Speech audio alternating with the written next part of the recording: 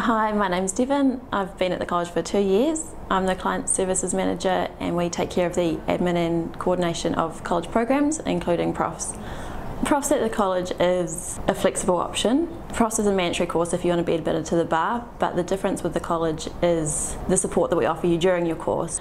Profs, although it's a short course, is quite intensive and requires quite a bit of time and attention. It can also be challenging as it's a different way of learning. The practical nature of the course, for example, interviewing a client or drafting a memo, tasks that you will be asked to do by a partner as a junior lawyer.